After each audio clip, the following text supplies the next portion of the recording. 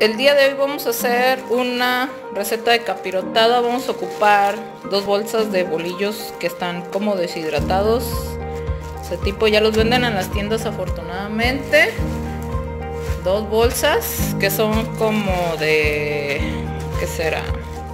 Unos... como un kilo o menos. Un poquito, no menos, menos de un kilo. Como unos 700 gramos más o menos de bolillos. Son 8 huevos una lata de Carnation, de que es leche evaporada, que en este caso son... ¿Cuántos mililitros son? No veo. Aquí, 750 gramos. Vamos a ocuparlo todo. 200 o 300 gramos de lo que son la lechera. Yo como no había la tiendita, pues ya ni modo me fregué. y compramos sobrecitos. Tres barras de mantequilla, son de 90 gramos cada barra, pero si tienen una de 210 gramos, la pueden utilizar.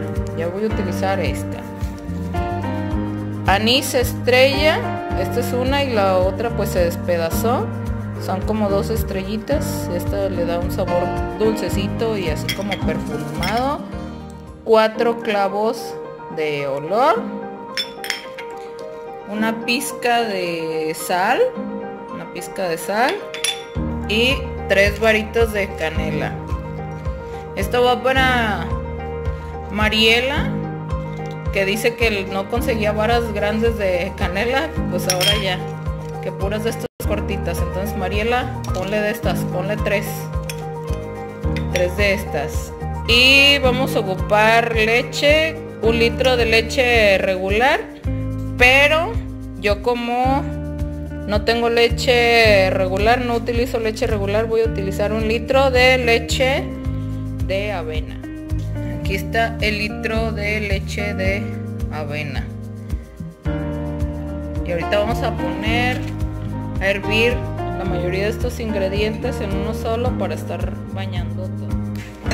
En una cacerola honda, esta cacerola es de 4 litros vamos a poner vamos a encender el fuego. Vamos a poner las barras de mantequilla. Vamos a poner las barras de mantequilla. Es que aquí tengo el día de hoy un asistente. Hola. Mi sobrina. Vamos a poner las barras de mantequilla a derretir. Pero pues más rápido porque dos horas después. Poner las barras de mantequilla pues este déjenme ir trayendo los otros ingredientes porque si no aquí nos va a agarrar todo el rato vamos a echar las especias. Las especias la sal no. La sal se pone hasta el final a ver déjenme agarrar los palos así porque ya no se pudo. Pues ahí va haciendo ya nada más por pura decoración. A poner la mantequilla las especias canela. Luego vamos a ir por la leche. Hasta la leche de la leche. Y luego las lecheras. Las lecheras. Y luego la leche ahí está poniendo toda la carnation. Van a agarrar una cuchara de palo para medio batirle ahí el menjurje. Esta no es la receta tradicional de la capirota, es una receta que me estoy inventando ahorita por los tiempos de contingencia y de necesidad y desabastecimiento de las tienditas. Ahorita ya Valeria ya le está poniendo la lechera, los sobres de lechera. Ahí se está calentando.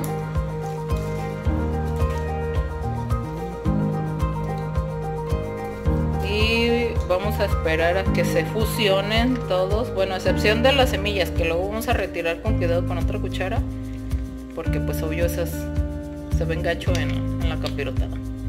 Lo que queremos ahorita es que se haga este tipo como de cremita con todos estos ingredientes y agarren el saborcito y vayamos bañando poco a poco los, los panecitos.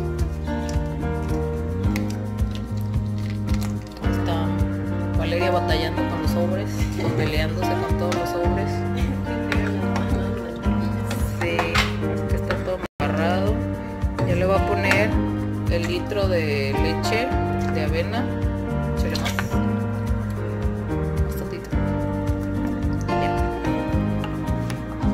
Y los huevos se ponen hasta el final. ¿Por qué? Pues porque si no ahorita se hace el budín aquí y como que no.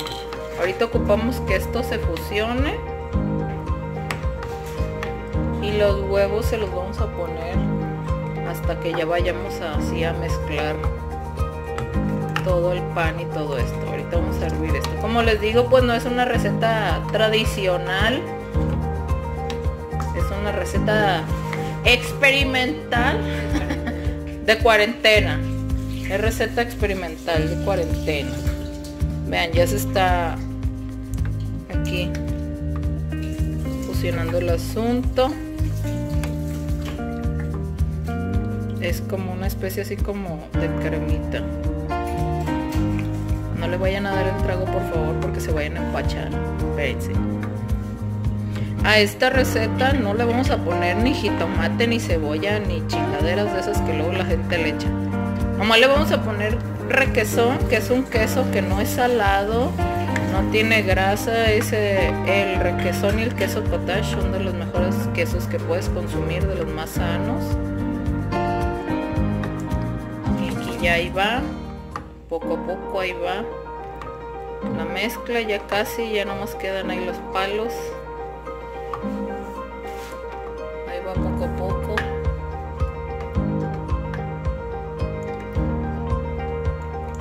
Cuando ya se vea la mezcla que, que casi está, pero todavía no está, la vas pasando del otro lado. La voy a pasar acá de este lado. Así. Pásalo del otro lado para tener el espacio para la otra. ¿No pago eso o no? Sí, ahorita apágalo, porque ahorita no se ocupa. Aguas con mis finos botes de, De aceite. de aceite, por favor. Son de colección, ¿sí?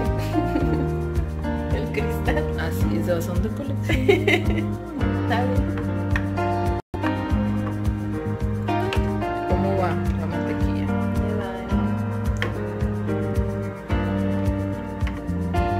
¿Ya se desbarató? De. No tiene que hervir, ¿eh? No se ocupa hervir ahorita.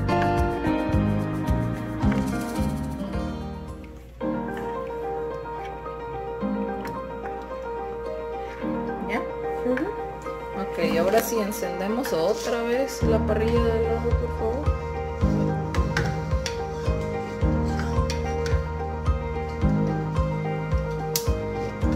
Así ponemos la ollona. Esta es una olla que ya he sacado en otros videos, es payera, pero lo voy a usar para lo que yo quiero. Entonces dejamos ahí tantito la olla y vamos por los bolillos. Vamos por los bolillos, por favor Y vamos haciendo una camita. Oye está bien hacer estos videos yo nada más diciendo cómo hacerlos si tú lo sabes. Me parece perfecto. Acuerdo. vamos a poner una camita de bolillitos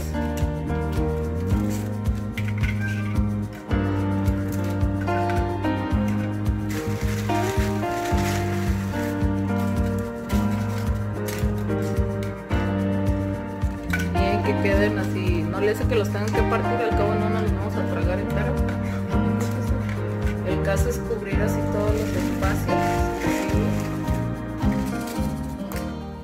Que hay que cubrir todos los espacios posibles. Ya, Ah, bueno. En eso estoy. utilicen sus prácticas de Tetris si no jugaron Tetris pues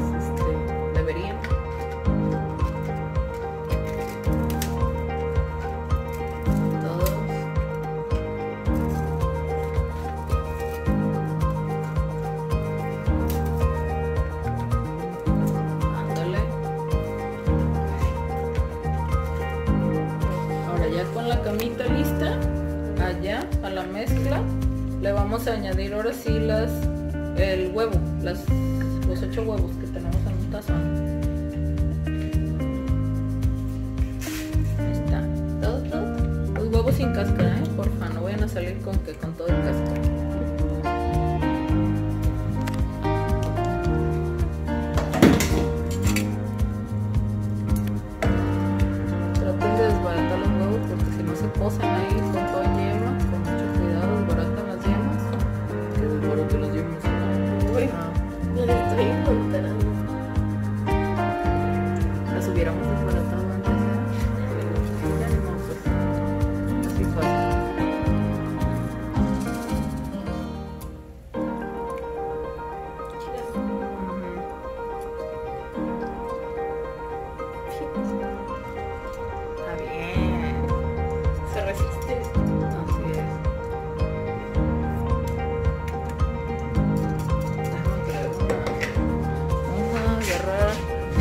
Cosa de estas que es para el café.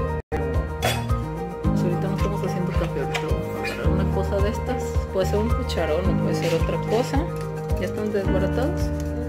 Y ahora con esta vamos a peinar así.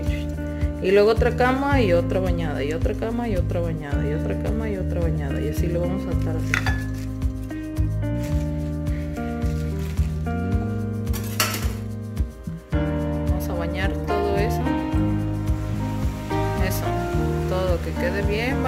Todo.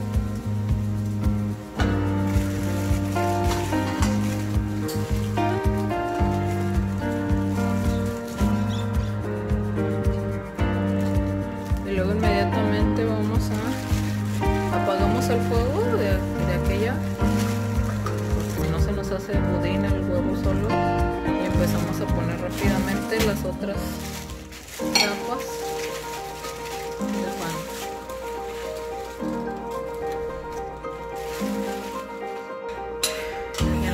capa le vamos a vaciar el resto de mezcla, de melcocha.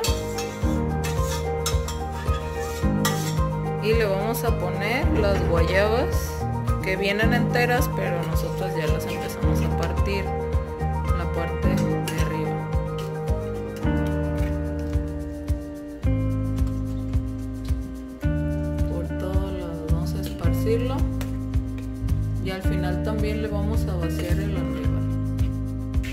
Como ya le vaciamos el almíbar, vamos almíbar, almíbar. El almíbar vamos a presionarlo un poquito con cuidado para que se absorba todo eso. Y al final vamos a, taparlo. Vamos a taparlo. Y le vamos a poner en la más baja que esté alrededor de una media hora, 25 minutos más o menos y luego vamos a venir a revisarlo. Después de media hora vamos a destaparlo a ver qué tal se ve. Y ya tiene lista la capirotada, ya está lista. Si quieren arriba ponerle nueces o pasas, me gustan las nueces, las pasas pues más o menos. Las pasas no me pasan. Y le pueden poner también chocolate arriba o algo que les guste. Yo como pues no tengo tantos ingredientes, pues así lo voy a dejar. Pero si pueden ver, ya se coció ahí el asunto. Ya está todo bien cocidito. Y ahí está la capirotada. ¿Saben qué se nos olvidó decir? que le poníamos el requesón arriba. Ay, disculpen,